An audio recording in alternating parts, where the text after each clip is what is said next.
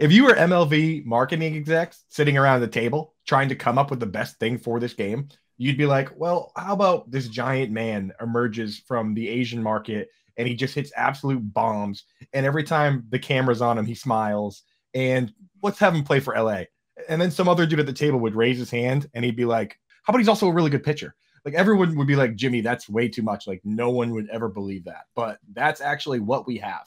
So what they should be doing is giving him this award and giving him every award. And every night should be bobblehead night. And they should parade this guy around the entire world and say, look what we have